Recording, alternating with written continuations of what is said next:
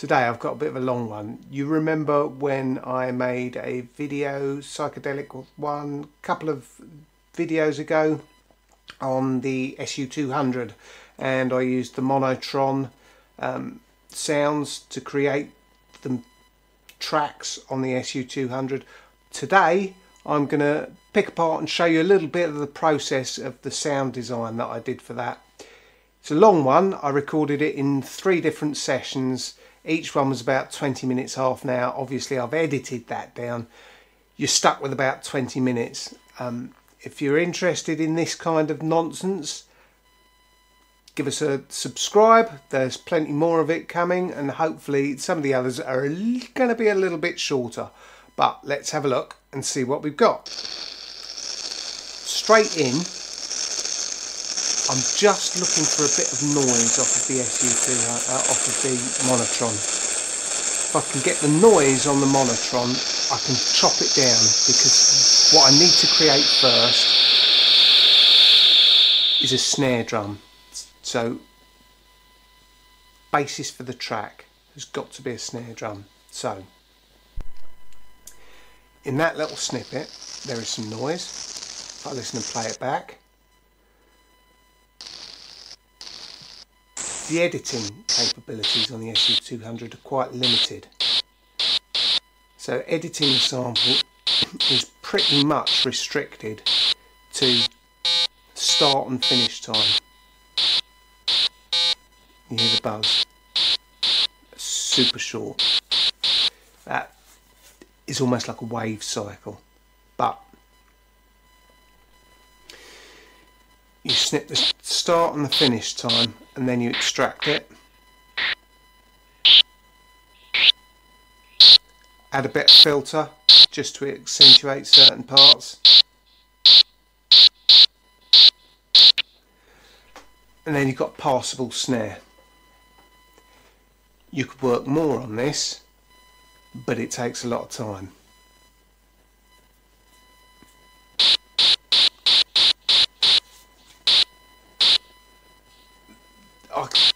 Also I can increase the volume of the pad.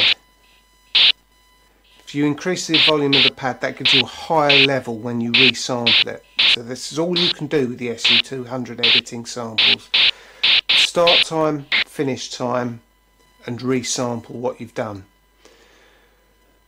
So you press the resample button, you choose the pad that you're going to resample to, and then you press start.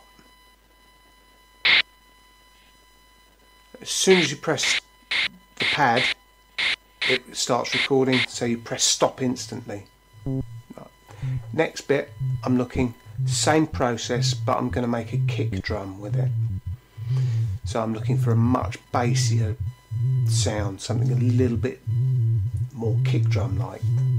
You should know what that sounds like. If you're watching this and you don't know what a kick drum sounds like, you've got some major, major issues. Stop trawling YouTube for pointless crap. Okay? Same thing. Find your start point. I'm looking for something with just a smidge of a click there as well because that helps to make a, a define the start of a, a, of a kick drum okay and then have a look at the end point and then we resample and then we extract. Now extract you capture back some of the sample time. So with both kick and bass drum you extend it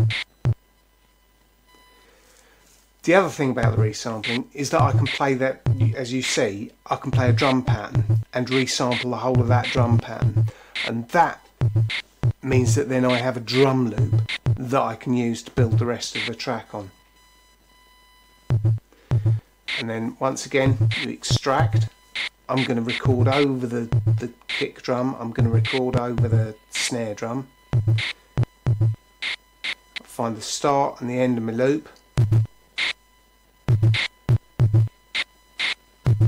Timing going nicely.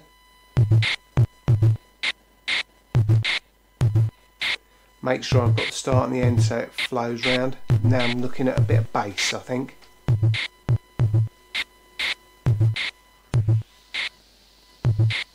Or maybe a nice pad, I can't remember.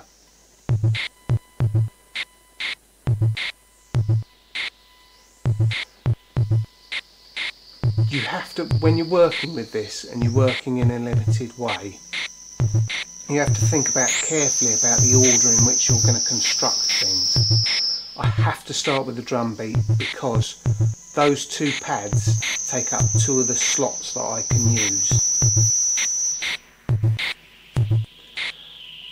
Once I've done that, I like to set the mood, which is why I then sample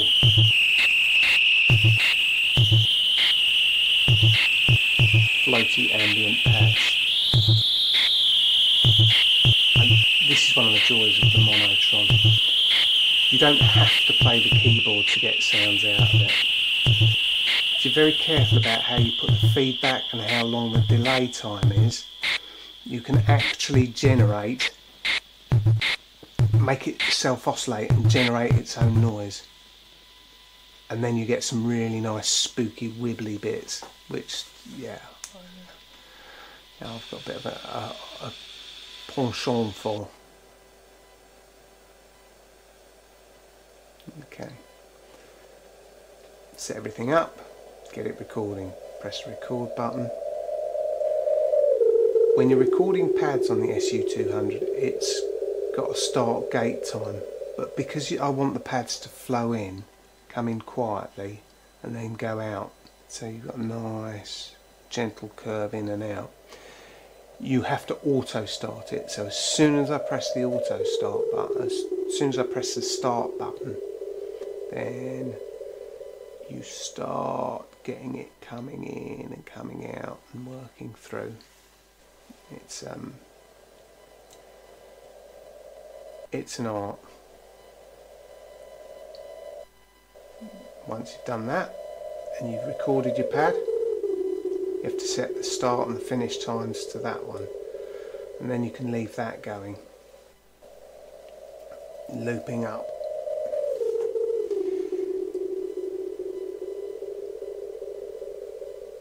Once again I apologise for the length of this video. But a lot of this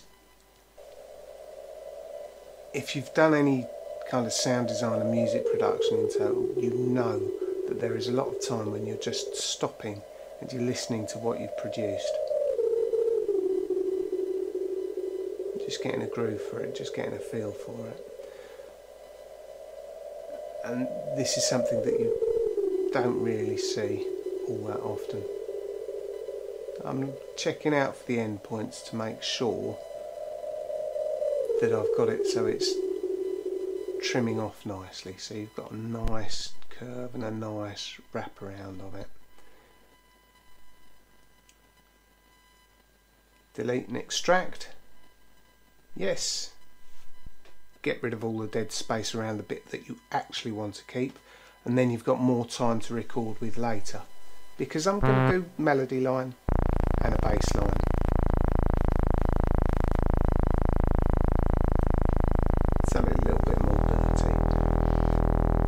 Despite what people think, it is possible to kind of play lines on the Monotron. It's not easy, but it is possible.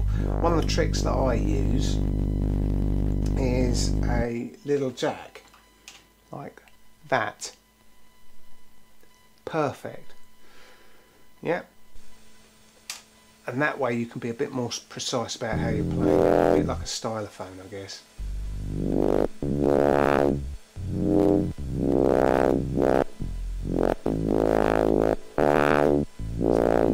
Filters. Yeah. I, do I do really like the filters on the Monotron. It's it's wonderful.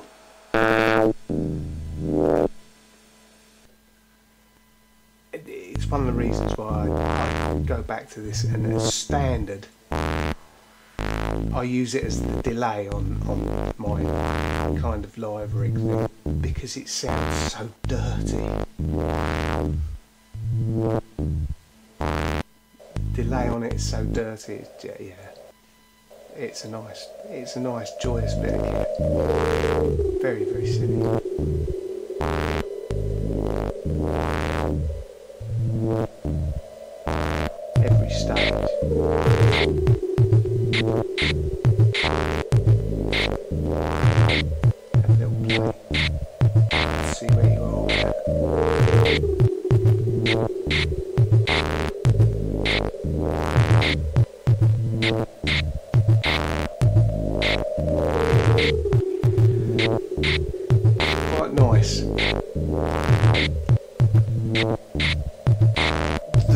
Biggest difficulty with the SU200 is syncing things up.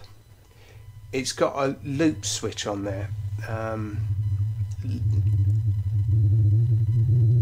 but it's rubbish. It distorts everything, so you can't actually use it. You have to try get everything so that the timing works properly. Um, one of the ways that I do that and you'll see later on is I set up the delay on the Monotron to give me some actual timing of it. So I'll play the drum beat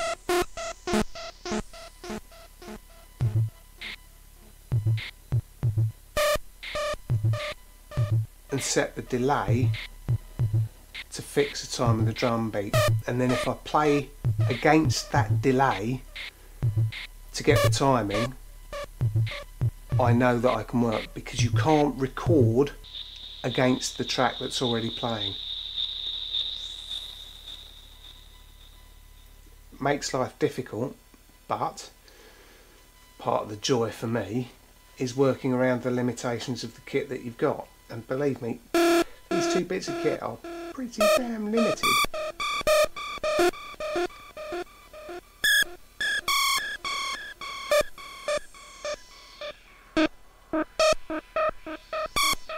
So, yeah. See? Working with the delay. That's the important thing there.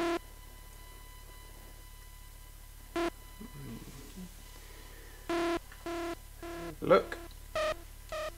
Get it on trigger. So it comes off.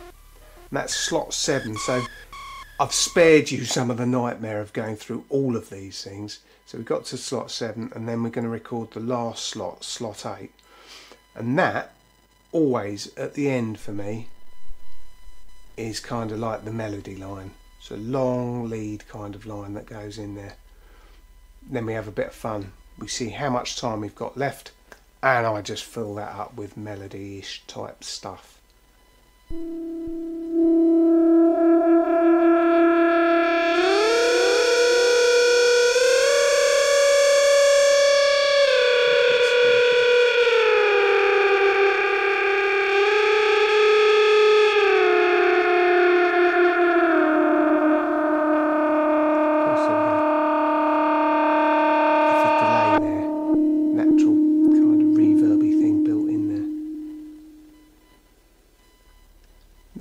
All the sampling time that I had left on that. There we go. That's pretty much all of it. A couple of tweaks now because the levels are a bit even. So now I will have a listen through and see what I've got. And then I'll start thinking about setting levels for the, the pads so that when I play them together you actually get something quite reasonable going on.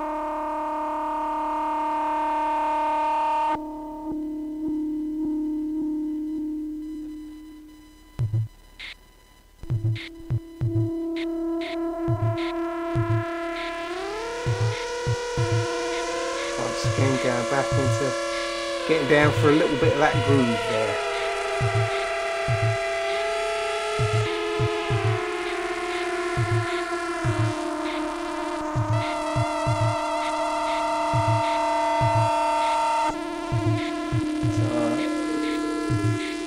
See how we get on.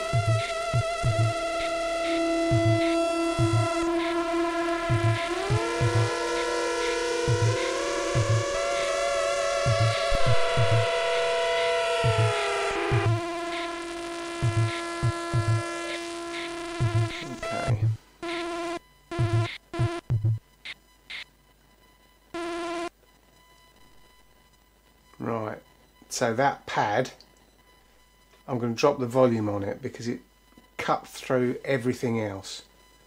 So just drop the volume down to something which I think is a bit more reasonable. And then I think I might launch off into a little bit of a jam. So I'm probably I will leave you with this jam. We'll go into a bit more of a psychedelic experience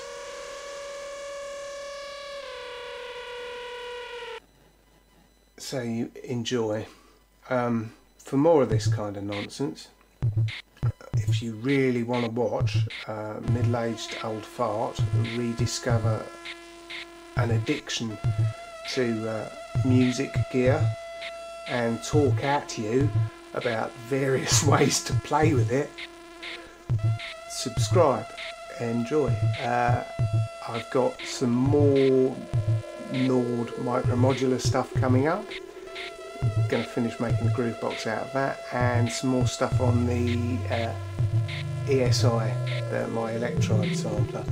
And I will do get round to doing having a play with the Behringer Crave, which I have used but I haven't explored fully yet. It's a new bit of kit. Um, yeah, welcome back. Thank you for watching and like I say, subscribe for more of this kind of nonsense. Uh, enjoy the jam.